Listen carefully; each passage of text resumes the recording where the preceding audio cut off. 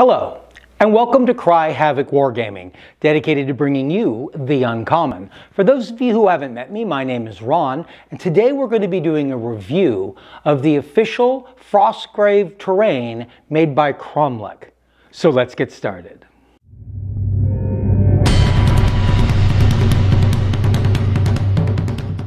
I recently received a large number of various kits by Kromlech for Frostgrave. And um, I bought a number of buildings that are specific to certain scenarios.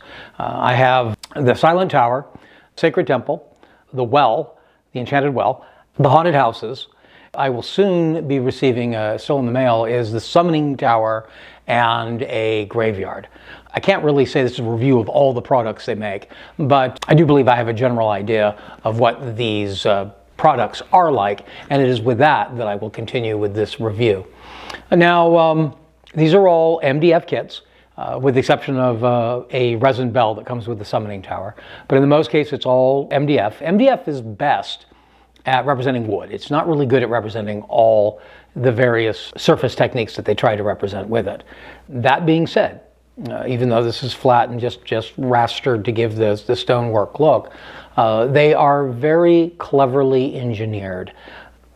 The summoning tower itself is built in such such a fashion that the walls all seem much thicker than they would really have been by, by having a lot of dead space and, and extra walls. Uh, the, uh, I think the engineering behind them is, is very, very well done. They are complicated models. Uh, they are certainly up there uh, with the most complicated MDF models I've made. Uh, I believe is a line either either these or the um, Black Site Studios are probably the most complicated uh, MDF kits I've made. These are, are not pre-painted. It is normal MDF. They're a good value for the money. They aren't inexpensive kits, but they they dominate the field. The scale of them is very very impressive. Uh, the Silent Tower, for instance, the Silent Tower, when all put together, stretches out diagonally pretty much across the three by three Frostgrave playing area.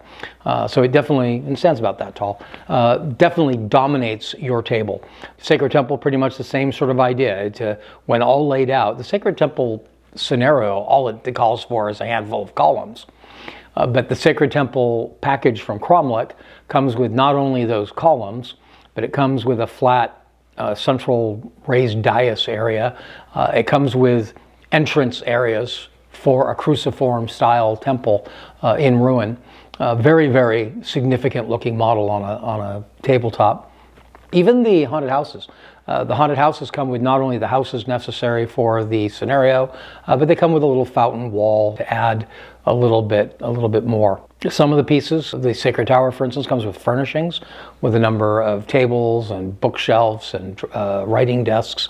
So various uh, interior details that you can move around. Uh, there were some ladders with some of the kits, stairs with a lot of the kits. So that's a detail that's often missing in MDF models. The kits went together very, very easily for the most part. Uh, the instructions were very clear. They come with instructions, unlike many MDF kits today. The instructions are actually available in the kit. They recommend dry fitting. I do as well. There was at least one occasion where building the model in a different order would have worked better, where a step could have been reversed. And I may have discovered that if I had been dry fitting. Still not sure I would have, because if you're just dry fitting per step, uh, it was a mistake. Something was done in one step that should have been done at the beginning of one step when it should have been at the end of the next step. So um, there, that was a, a small problem, but it, it only was once on all of these models. I wouldn't call that an overwhelming difficulty. The models mostly went together well, they fit together well.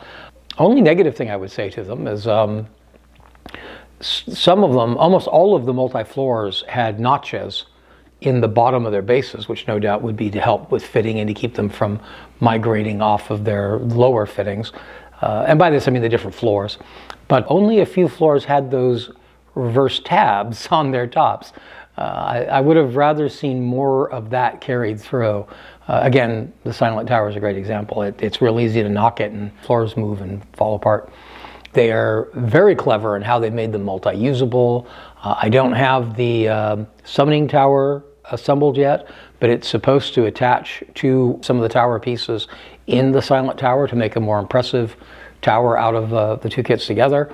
Silent Tower itself, for those of you who don't remember the scenario, it consists of three buildings, one large tower in the middle, connected to two uh, other buildings by bridges.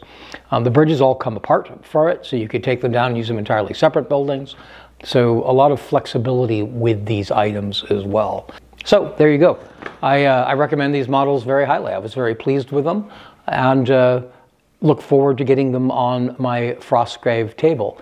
If you have any questions about these kits, or if you own these kits and would like to make comments about uh, your experience with them, go ahead and do that in the comments down below. We also look for comments down below on further ideas for content that may interest you here on the Cry Havoc Wargaming channel. If you've enjoyed this video, please hit like, and if you would like to continue to receive videos like this to help guide you in how to spend your gaming money and time, then please hit subscribe. Until next time. Cheers.